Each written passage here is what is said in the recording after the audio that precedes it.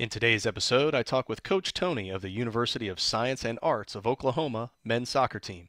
If you like our interviews, I would truly appreciate it if you could subscribe to our YouTube channel, or if you're more of a podcast person, check us out on Amazon, Google, Spotify, and more, and leave us a review and subscribe there. And don't forget to follow us on all the various social media channels at discover underscore CS. Thanks. Hi, everybody. Welcome to Discover College Soccer. Today I'm lucky enough to be joined by Coach Tony Orsi. How are you, Coach? I'm good. How are you, Matt? I'm doing well, thanks. So, Coach, you are at the University of the Science and Arts of Oklahoma. Is that right? Yes, sir. Okay. Chickasha, Oklahoma. All right. Well, it's a it's a a long name forever. Yeah. you, you don't want to have to put that, you know, across the back of a jersey or anything like No, that. we uh we go Drovers. That's our that's our mascot. The so Drovers. USAO or Drovers. USAO. Awesome. Well, I appreciate you the time today. Um, let's uh, talk a little bit uh, about recruiting and, and getting the team together. You guys are NAIA out there in Oklahoma. Um, when do you really start talking to players and, and kind of building out those those classes of on the recruiting side? I'd probably say it depends on if they're uh, American or international. If if they're Americans, it's usually sophomore year. We try to get them down on a visit, um, just to kind of you know start the dialogue, start the process, and then I'd probably say junior year, beginning of senior year is when we probably start to offer. Um, and now we've we've done it later in the past. Obviously, if a guy is you know kind of a diamond in the rough somewhere that's late, or um, you know maybe a freshman that's just you know we know through the club system that's just unbelievable. But I'd I'd probably say sophomore years when we start um, actively recruiting, and then probably junior years when we start to offer.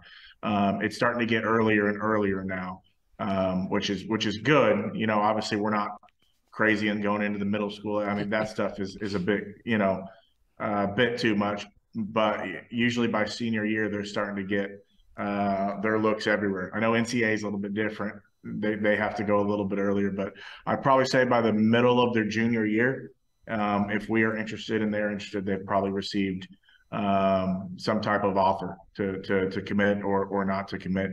And then internationals is is usually um, a year before they come out because they kind of their, their school system's a little bit different. They have to finish graduating in June before they come over here uh, with with the NAI clearinghouse they have now. So it's it's really hard for them to to kind of know because they don't have their grades or they don't have their final exams. So really, we'll get them for uh, probably starting August or September of this year. We start to get videos for guys coming next year. So internationals is probably a year um, a year before they come out, which is a little bit later from the from the club aspect, uh, just because some guys are trying to sign a pro contract, some guys are trying to play back home some guys have just decided they want to come over to the to, to the U.S. for a degree. So I'd say they're a little bit later um, than they are the the the American homegrown kids here because the system is so different. They don't have recruiting visits. Some of them don't even know about playing in the states until they're 16, 17, and then they start to look. So I mean, looking at your roster, it looks like you, you got a, a heavy contingent of internationals over there. So Yes. so how are you guys uh, recruiting, evaluating, and, and deciding who who kind of gets the the nod? Really, we get we uh, it started a long time ago. I mean, this this kind of dates us. I've I've been here since 2007, I think, and we didn't have all the fans. I mean, we would not have been on a Zoom call, as you know. Well, we would have been talking on a, on my land phone. Um, so the, the first couple years, we kind of just really casted a wide net of email, email, email, find everybody we can. You know, it was still pretty new, um, and then now we've built kind of relationships with with agencies and with handlers and with guys that you know think we have treated their their client their student athlete well. And now they'll they'll reach out to us sometimes as much as we reach out to them where it's you know hey coach hope all's well. What are you looking for for 23 we'll say hey we need a you know a right back is goalkeeper for you know and then they start hey we think we got the guys. They know the system now. They know the grades. They know you know test wise what they need to get uh, so now it's more of a narrow um, a narrow field instead of just you know casting that wide net. And then really it's just um, you know it's like anything else. We, we get a good video, we'll get a good game film on them, and then we'll speak with them. And, and the biggest thing now is getting to they can't obviously come over here on a recruiting visit from you know, the Netherlands or Germany or Brazil or Spain, but we can have a conversation like this where I can kind of look at them and see, you know, get a little bit about them, what kind of person they are, because that's a big piece for us too. Is um, you know, it doesn't matter how good of a player you are if you're not going to fit our our system and our culture of doing things right. And then it's just we go on talent, like like like anything else. You know, we'll watch. I don't know how many videos a day we get. You know, once once we you know, hey, here's what we need. You know, we'll get 20, 30 a day, and we're just kind of here's the top three. Here are some guys we think that could be on the reserve, and then we start contact from there. But you know, it's not a first come first serve. It's not a well, this guy email us first.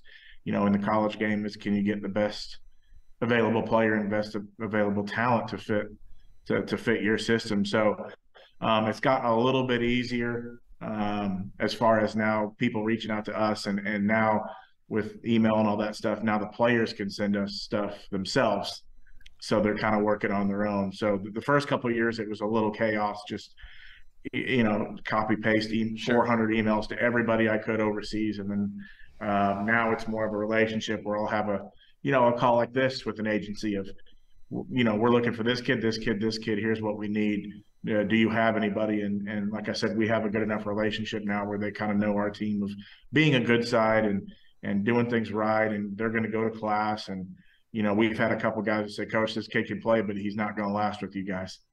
He's just not. He, he yeah. he'll, he'll, you know, you give him an inch, he'll take a mile, and that's a big thing too. Is we we want great people here as well as great players, if that makes sense. Ah, absolutely.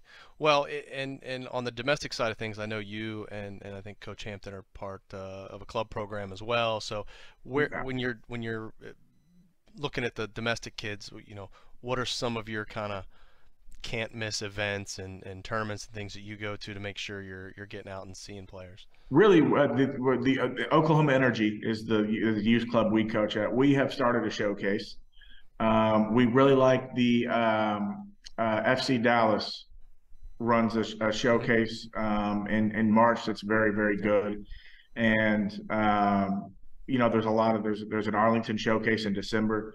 Uh, there's an Adidas showcase in Tulsa. So that's kind of the uh, the big ones that we hit. Um, but to, to, to, be honest, we're we're out there so much, we may just be walking by a field. Yeah.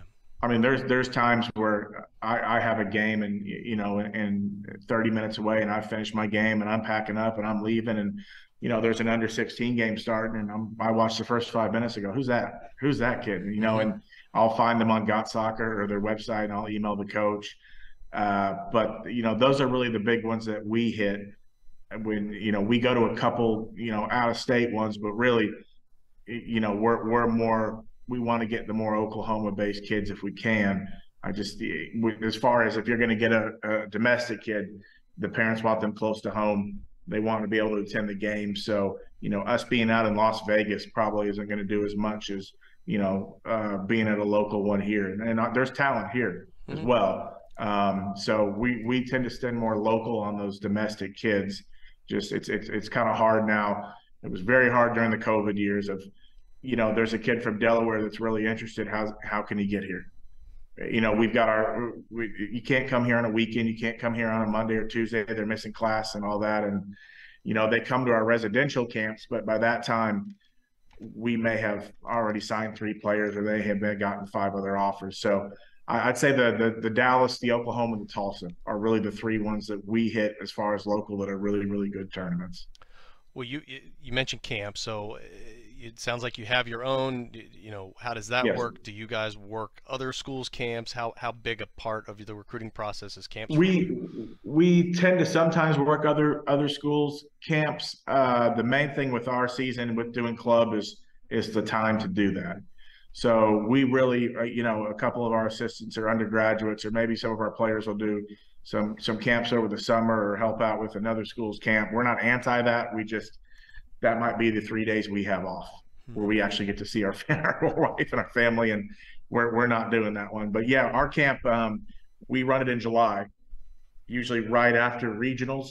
Um, you know, tryouts are usually May and June here. Regionals are usually mid June, so it's real hard to get a good camp with people being gone, people being out, people at regionals. So we really do that first, maybe second week of July is when we have our our camp, and we really run two. We have a residential camp, which is more geared for under nine to under 15, 16 boys, girls, all levels. And then we also have a college ID camp that we run simultaneously. Those are the 16, 17, 18 high school age boys. So, you know, we're not running a camp where there's uh, a team of, of 11 year old and a college guy wanting to come here. We think neither one will really benefit or enjoy that camp because while camp is fun, they also want to get a little taste of what it's like here and want to get better. So we want to put them with, with likability. Uh, but we do have a college ID camp where we we send out invites. Um, I think we had about 65 men last year, which is very good. About 50 women, and our residential camps that we max out our dorms every year. So I think we've got 250, 260 coming to those camps, which it's a great it's a great event. The, the kids are, you know, the, the the camp is staffed by all almost 90% college coaches. Um, and then the college ID camp is ran by us, but we also sometimes bring in guys from other schools in our conference just because we don't want it to be so inclusive that oh they're just coming you know all these kids are coming for USAO so what will happen is we we had a, a, a division two coach come. We had a division coach one coach locally come speak. Uh, we had a couple coaches even within our conference come speak um, kind of on a college night for these players just so they can kind of get a hint of you know we want everybody to come here. That that's obviously our goal but we also want to educate these kids on how the process works. That's the biggest part of a college ID camp is, hey, look at our look at our field, look at our facilities. That's you know we don't want to be used car salesmen, but we also want them to know here's what other schools do, here's what other schools offer. So you know we we really want to value, especially the younger kids. We want them to understand the process and not just commit somewhere without really knowing what's going on if that makes sense so oh, um, we, we our, our campus the players love it the, the, the college id kids love it um, and then our last usually recruiting tool is our reserve team we'll usually get our under 18 boys teams up for a game um, where we can kind of see them and maybe get them on a visit afterwards but they're playing our reserve men so we get to see them, you know, maybe train with us, and then we get to see them live in an 11 v 11 game because we can't attend every showcase. We just, you know, we don't have the time or the budget to to be going to Indiana and Georgia and Florida every every week because we're in season right now. Yeah, for sure. Well, in terms of, um, you know, the the the dollars and cents of it all, because that's what a lot of parents are uh, right. concerned about. So I'm not going to hold you any hard numbers here, but kind of just give me a, a ballpark overview of what the scholarship and financial aid situation is on an, for an average incoming player, whether that's academic money, athletic money, or any other oh. school scholarships. What what what should a student athlete expect if they were coming to your school? Well, our school uh, without any aid is sixteen thousand, oh, so wow. we're actually pretty cheap right off the bat. Um, and then there's some. It's a it's a it's a tough school here. It you know these the the arts, the the science, arts, business.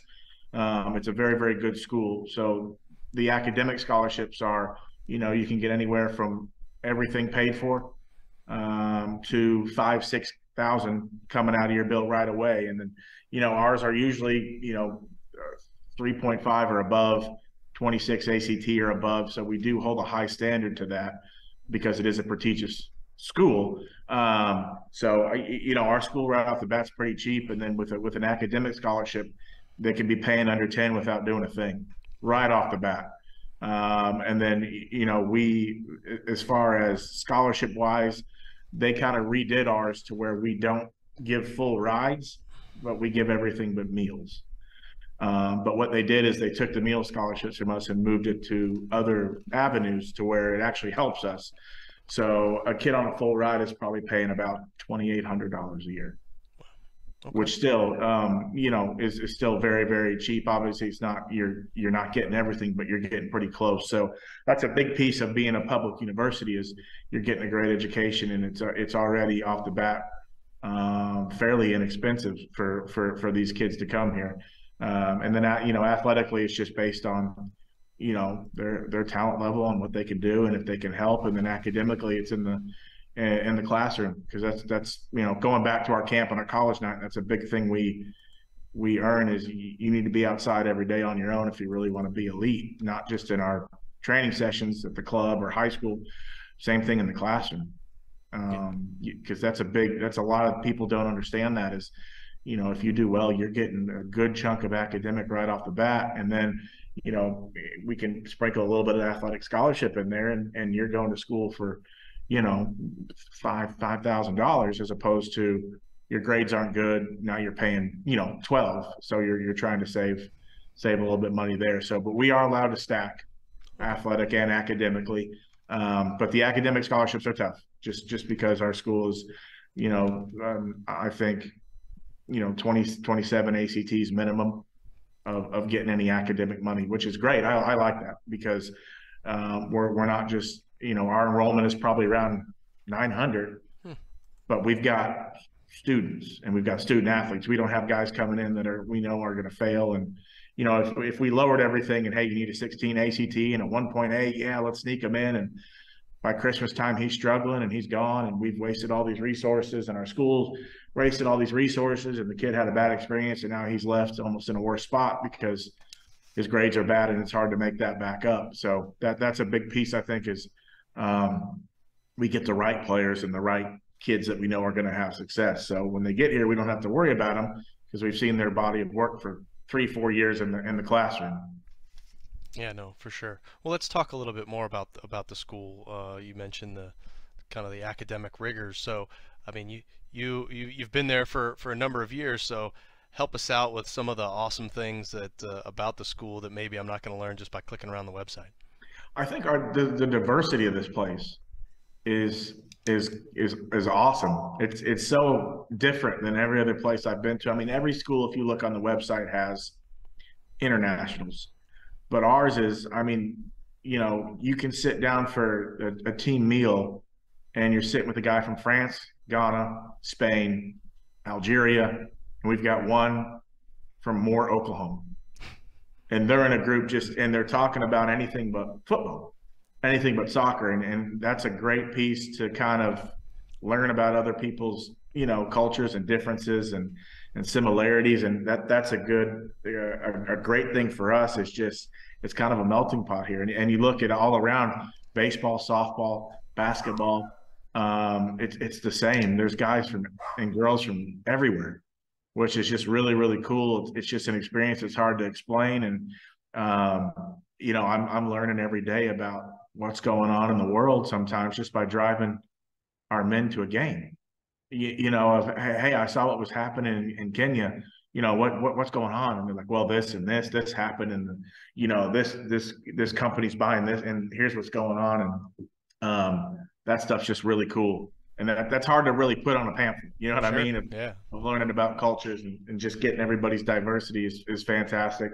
Um, and then I think the um, another thing is we've probably got 40, we have a reserve side, so we have 40 men's players. So when I'm talking to a parent and uh, on a recruiting call, and they're like, "Is my son going to be taken care of?" And I said, "Well, we want to try to leave them better people than when they got here we want you know you guys did a great job of raising your son. Now we want to try to add some things and make you know make them become a good man. And are they being looked after? Yeah you've got two coaches that again we're going to be hard on you. We're going to coach you up. It's not always going to be easy but as soon as we step off those lines we're here to do anything in the world for those young men. And they've got 39 other brothers right off the bat. As soon as they set foot on campus if we have 40 players they've got 39 guys looking after them and um, that's just a different. It's it's it's more of a family feel because um, when a lot of players play college, the biggest regret they say is, "I miss the family atmosphere of club. I miss the camaraderie of high school." Even though the college level might be higher, obviously because there's grown men and the talent, they're missing that that family piece where they feel like they're playing for something bigger than just themselves. And I think that's that's what we have here. Um, you know, I, I perfect example yesterday. Um, we finished training and I needed some stuff. I, I we, we have a team leaders group that I can text out. I texted my team leaders. I said, "Hey, can five of you come by? I need some help." Twenty-two kids showed up. You know what I mean? Just and these are 18, 19 year old kids that probably want to be doing anything else, but they just. I was like, everybody can though. Yeah, you needed help. We didn't know we're we're here. What, what do you need? And that's just a that's tough to really explain until people get here um, of, of what a great, you know, the community supports us.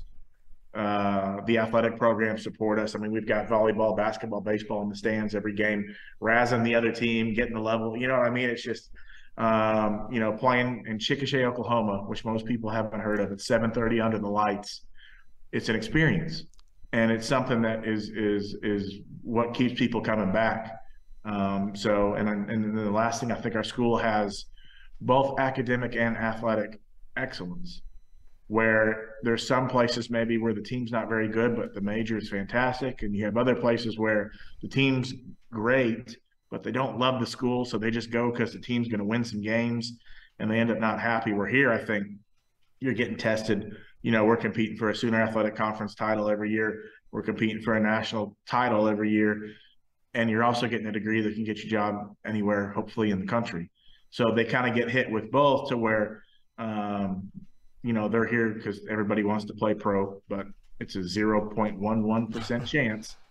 So you're also getting a degree as well as playing for a for a top school. So it's just it's just a great place, kind of 40 minutes outside of the big city, so so to speak. It's you know we we like to say it's we're kind of a little bit like the Gonzaga basketball, where we're not these the Power Five. You know, we're not we're not in these massive cities, but what we have here is pretty special, um, which is why we've had some some success over 25 years, and we've had great players, great parents, uh, great kids, great coaches come through here. I mean, one of our ex-assistant coaches is the USL Pro goalkeeper coach.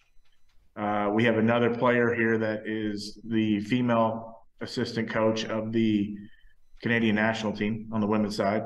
Uh, we had a, a center back here that was the Gotham FC women's NPSL coach or NWSL coach. Um, we have a former player here that is the U.S. Deaf national team coach. So we have one that's a brain surgeon on the, you know what I mean? So you just look at all these all these people that have left, and we just had this is our 25th year, so we had a little banquet to celebrate Coach Hampton on Alumni Day for everything he's done. I'm looking around all these people, and I'm just you know, I'm watching everybody that's played for us pass us. And that's kind of a, a badge of honor of what look at all what all these people are doing coming out of our place. And it's not us. It's it's it's the culture and everything that we've set. And you know, we always say try to leave it better than when you got here. And when you look around this place, you know, I'm looking at everybody's resume and I'm like, good, good grief. I mean, you guys have what you guys have done, and, and they still, you know, uh, still watch us. I mean, we've got guys from '98 in a group text first year program, you know, tough tough loss today, a great win, and you know the the the the, the coach that used to coach the Gotham FC women's team. I mean, he's coaching Christen Press, I think. Uh, he texts us before big games. Still, I mean, you know, just just hey, good luck, man. You know, be you know always a drover. Let's go, let's go win this game. And that stuff you can't really explain until you're part of it, if that makes sense. So it's real hard to put that in a you know, I can't send that in an attachment in an email. You know, I can break down the numbers, but until you really see it, it's something that's, uh, you know, it's hard to explain. Uh, makes a lot of sense. Well, let's shift gears, talk a little about on the field stuff with the team. I mean, you mentioned, mm-hmm. you know, 40 guys with a reserve. Um, you know, what is it like for, you know, an incoming player? Is the reserves mostly freshmen? Is uh, how, how does that work when deciding? Does everybody train together? Just kind of how does that whole reserve squad work? Usually during preseason, we have everybody together because um, every year is kind of a clean slate. So you started 10 games last year, or you started zero games. You started on the reserve. We don't care.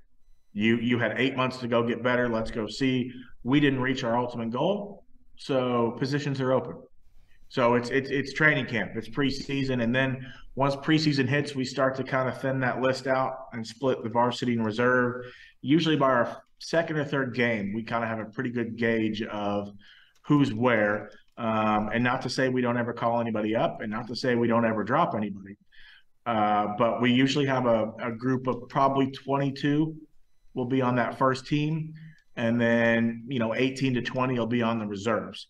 So, uh, and that list is based on really what they're bringing at the moment. So, you know, when, when we score a goal, it's not USAO junior, so and so, USAO freshman, it's it's USAO drover. So, we'll, we we take the best player. I mean, that that's really it. There's freshmen that come in right off the bat, and after three days, we go, this kid, this kid's going to be special. Um, and then there's guys that maybe need a year or two. We can see something in them. The light hasn't come on yet. It's still a little fast. They're not used to the college game, and maybe they start on the reserves. Um, we've had players come off injuries, usually get a week in the reserves if they're a varsity. So it's a mix. Uh, we have some juniors that are on the reserve team. We have some freshmen that are on the reserve team. We have some juniors that start, and we have a couple freshmen this year that start on the varsity first team. So really, we we don't look at the class. We look at what can they do to to help. You know, you know. I know at high school sometimes senior night we start all the seniors and it's great, but but at the college game we honor them before the game, and then we got to go win our game. Um, so really, it, it's based on what what they can do. You know, we, will never not start an All American. We'll never not play an All Conference player and go, well, you're a freshman. This guy's been here longer. Yeah, coach, but we're we're we're two and six right now. So that's not what you know, you know what I mean. So we, we want to do best by the team. Um, so it's really just a mix of, of, of of both. You know, we and we have some guys that play both. Some guys suit that varsity team, and then they play the Wednesday reserve game, so they're getting 90 minutes in. So it, it really will be based on on what they do. And we see a lot of players come in after year one and just make leaps and bounds and get a kid. I mean, we have um, a guy starting this year as a junior that played the first two years on the reserves. He was a good player, he just wasn't ready.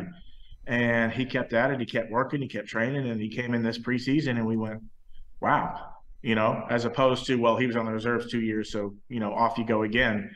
And he, he doesn't get that valuable game time. So it really just it just depends on how quickly they pick up the game over here because it is so different from the international game. It's quick, it's fast, it's physical.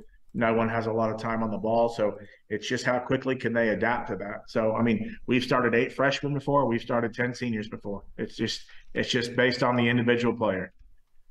Yeah, no, that, I figured that was going to be the case, but you always yeah. got to double check. Uh, so you, we talked about the, the size of the team. Let's talk about the size of the staff.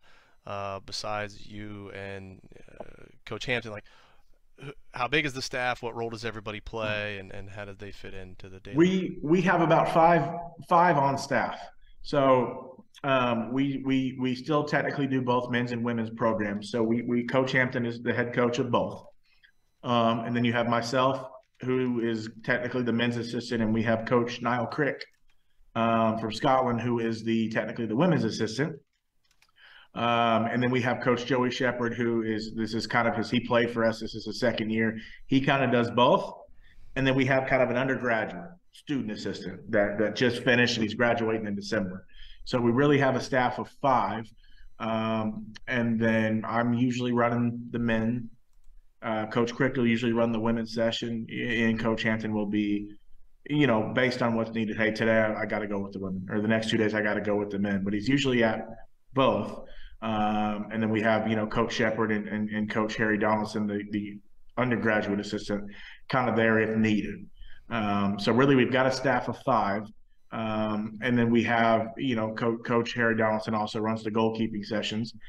Uh, and then we have two athletic trainers.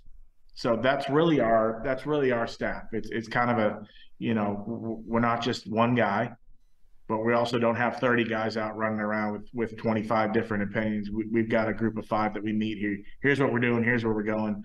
Um, so our roles are usually you know with an NAI school we're usually doing everything, which we love. I mean you know if if I had we we put our job description down it'd probably be three pages. It's we we we we coach the games uh, we we mow the field, we line the field, we fertilize the field, we drive the team, we organize the practices, we we we recruit, we get you know we order the gear, we we do laundry, you know we we do all that to help our our, our athletes out. But we like it because it we take some pride in it. It's our field, you know, the players' field. You know, we're out there spending three hours on it. We, you take a little more ownership than having just a staff in there of someone to do that. So I don't. I I think I would struggle if I was at a, a, a place where everyone did that stuff for me. I, I, think I'd get too. I just I, I like to be a part of it. Um, you know, we're the guys where if a sprinkler head's leaking, we're not calling anybody. We'll just go. We'll go get a shovel. You know what I mean? Let's go. Let's go fix it. And and and I think uh, it kind of teaches you to do everything. So you know now there, there's nothing that we really haven't seen or haven't had a problem run into that we can't fixed because we're we're kind of have our hands in everything. And you know, other people are like, "Oh my gosh, you have to do all that." I go, "Yeah, we love it." You know, we we we I, I love doing it. You know that that's my, you know, that's my getaway on game days. I mow the field. Hmm. You know, I want it to look fantastic for the for for our our men and our women that are playing on it. Um, and I take pride in it because it's a big part of our, you know, it's the first thing you see when you drive into campus. So that that's a recruiting tool for every sport. So when softball has a recruiting visit, that's the first thing that kid sees. So I want to make that thing look special, even though they're not a soccer player. And um, that's just kind of my my kind of zen moment, I guess you could say, on the mower of what happens if we go down a goal? What if we go down a man? What if we go up a goal late? You know, remember last year? What what what? You know, were they were they good on the set pieces? When I was watching the film, what did I notice? And that just gives me an hour to you know not only try to make the place look great, but I'm also, you know, it, it's kind of my my pregame ritual to where if that was taken away from me, I probably wouldn't do a very good job. So um, you know, we we do a bit as most schools do. You know, um, we we mow, recruit, inventory, budget, fields, drive. We we we we do it all, and we love to do it all because we want the best experience for these men and women players. No, it's fantastic. I I, I can relate. I was yeah. doing the same oh, thing Tw- 20 years ago, D2 coach mowing, mowing the field yeah. day, day of, and that exactly yeah. it. That's your that's your thinking time. I love Yeah, it. and it's it, you know, and, and if if we do it, it, it kind of cult, you know, it it filters on down. I mean, you know, I, I think the, a, a great story to sum up USAO is Coach Hampton um, mid September, I think, got his 600th win. He got a text from his wife while we were working on fertilizer. we were about to fertilize an area and, and, and get a sprinkler head because we thought it looked a little dead in that spot on the field. So we actually got a text saying, Congratulations. He's like, Oh, you know, yeah, big win. We'll take it. like, no, you're your 600th win.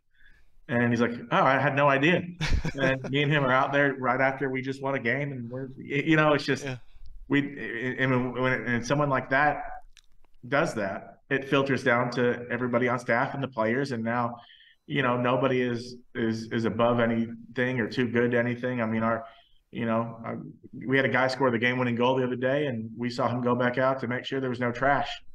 Just pick just little things like that that just it's just a culture of something where we're trying to produce great men and women. And when you see your head coach do that or your team captain do that, it just it filters down to where these people are going to be successful now. Because right it's just one of those where we're not just sitting on our desk with our feet up drinking coffee texting people hey do this do that get that done while we sit in our ivory tower and hang out. I think you know that I, I wouldn't do well in a situation. As i'm sure you're probably the same way in speaking to you. You wouldn't do well you know you're one of those if it's going to be right done right i want to do it yeah exactly well that, that's one one of the reasons this website exists and these yeah. podcasts exist is because I've, I've, people need need to hear these conversations and exactly. learn who they're yeah. going to go see. So, well, Coach, we, we've covered a lot of ground, and and I always like to end these the same way, and that's what didn't we talk about? Is there anything else you want to say, whether it's about recruiting, about the school, about the team, or anything else you want folks to know?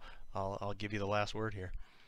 Uh, I I would just say to every person that's trying to go play, don't just get caught in the letters of a uni- of a university. Don't just get caught in a win loss. Don't just get caught in what you know what the school looks like for everywhere. I, I'd say look at what's the best fit. That's probably what we tell every player that we try to recruit is we sure hope you come here and we sure hope you play for us. But we want to make sure it's the right decision because you get four years to kind of live your dream and I'll be here the next 30.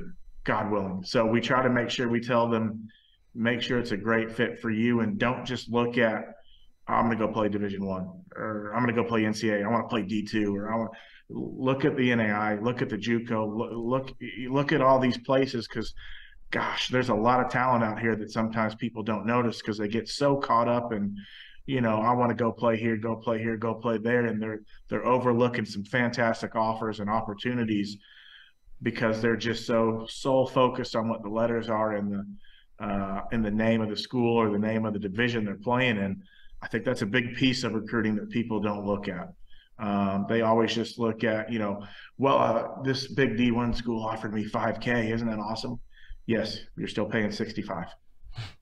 As you know, as opposed to this school is in my backyard and they're offering me so much and they're competing for something. And you know that that's what we say is you can go anywhere and you know if you go eight and ten all four years, it doesn't matter where you go. Or you can go somewhere that may be a great fit for you, and and maybe you're competing for a conference title and a national title. Um, and if you're good enough, you're good enough. For those guys that always think you got to play D1 to get to the next level, that's not not true. You know, and, and I'm not there. There, you know, D1 is fantastic. There's there's no way I'm going to say anything uh, negative about D1. I played Division two as, as well, NCAA Division two. So um, I know the benefits of it, but I also know if you're good enough, you can get a look. Um, you know, we we've had some guys play USL Pro. Um, I think we had a women's NAIA player actually suit up for the national team. Yep. So I, I look if, if you're truly good enough, there's there's there's doors open now with with all the social media and all the video and all the stuff that's coming nowadays. You don't have to be at a massive place. So i think try not to get lost in the shuffle. Look at the best fit for you. That that's the best piece we try to give these players because um, especially when they come out of our club is not only am i trying to hopefully get them to come to our school i also can i help them get to a place that's a good fit um, so that's a big piece of, of always look at everything and you know, take a visit. Don't don't turn anybody away. Don't you know? Don't turn your nose up at a place because it may be in a town you haven't heard of. You know, and and don't turn away the D one job maybe because it might be some competition to get playing time. You know, go go with what's the best fit. So that's probably the best piece of advice I could give for recruits. Um, for us, it's just um, you know take a visit to USAO, email me, come visit. You know, you may not come here, but I, I, I think you'll you'll pick up something that may help you down the next next road of life. And if you do come here, I think you'll end up having a, a fantastic career of memories of, you know, some great wins, maybe some some gut wrenching losses. But at the end of the day, I think you you you know coming here, I think you'll leave a better person if, if that makes sense. So, uh, email us, come to our camps, you know, watch us online maybe maybe we pick up one or two USAO Drover fans off off off this, which is which is which is the goal. Awesome. Well, Coach, I appreciate it. Wish you the best of luck uh, on senior night here coming up, and uh, we'll stay in touch and see how you guys progress. Yeah, thank you very much. This, these these things are awesome. We we love these the the, the soccer guys with, with with with podcasts. I think it's just growing the game every day, and I, I know we've got a long way to go, but guys like you behind the scenes, I think are, we're, we're pushing it in the right direction. So appreciate you having me. No, thank you, Coach. Talk soon. Yes, sir. Have a good one. You too. Bye. Bye.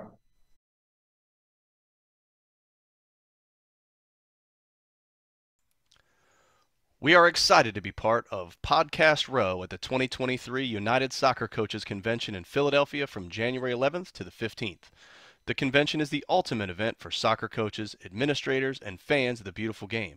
Ignite your passion through captivating presentations, on field demonstrations, exhibits, and networking events for any coach. Whether you are attending alone or bringing the whole coaching staff, there's no better place for soccer coaches to learn, network, and experience the latest trends in soccer education. Visit www.unitedsoccercoachesconvention.org to register. Come join us as we celebrate our passion for the beautiful game.